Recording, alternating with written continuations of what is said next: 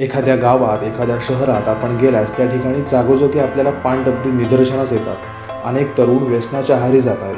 त्यामुळे त्यांना विविध आजारही होत आहेत. मात्र शीतल चव्हाण यांनी पानटपरी ही संकल्पना खोडून काढत ज्ञानटपरी संकल्पना सुरू केली. जेणेकरून मोबाईलच्या युगात सर्वांना वाचनाची आवड निर्माण होईल. विशेष म्हणजे टपरीमध्ये ठेवण्यात आलेले पुस्तक विनामूल्य वाचता येणार आहे. त्यामुळे जास्तीत जास्त लोकांना याचा लाभ होतोय.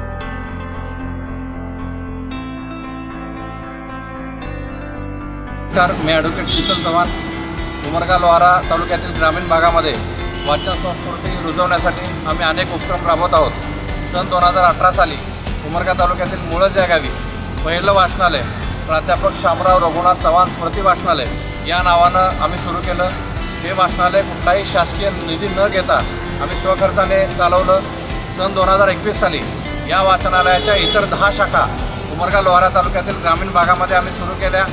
या वाचनालयाच्या आणि शाखांच्या वतीनं अनेक उपक्रम आम्ही वाचन संस्कृती समाजामध्ये रुजवण्यासाठी राबवत असतो. माझ्या आईच्या वाढदिवसाला आम्ही ग्रंथतुला केली. वाचनालयाच्या वतीनं आम्ही वाचन संस्कृती जागरण पंधरवाडा पंधरा जानेवारीपासून ते एकतीस जानेवारीपर्यंत या वर्षाच्या पहिल्याच महिन्यामध्ये साजरा केला. आणि या वाचन संस्कृती जागरण पंधरवाड्याच्या निमित्तानं पुस्तक पालखी आणि ग्रंथदिंडी आम्ही उमरगा लाळा तालुक्यातील ग्रामीण भागामध्ये गावोगाव फिरवली. या वाचनालयाच्या वतीनं आम्ही नुकतीच पानटपरी नव्हे तर ज्ञानटपरी ही संकल्पना राबवण्यासाठी उमरगा शहरामध्ये मेन रोड लगत वाचन टपरीची सुरुवात केलेली आहे. पानटपरीचं स्ट्रक्चर घेऊन त्या पानटपरीच्या स्ट्रक्चरमध्ये आम्ही शंभर पुस्तकं वर्तमानपत्र आणि मासिकं नागरिकांना मोफत वाचण्यासाठी खुली केलेली आहेत. या ठिकाणी अनेक नागरिक विद्यार्थी येऊन वर्तमानपत्राचा आणि पुस्तकांचा लाभ घेत आहेत.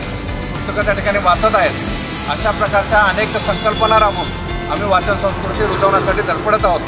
दसऱ्याला विजयादशमीच्या सणाला नागरिकांच्या तरुणांच्या तरुणींच्या हातामध्ये पुस्तक आणि लेखण्या देऊन आनंदनगर ते मुरुम अशी आम्ही विवेक यात्रा काढलेली आहे.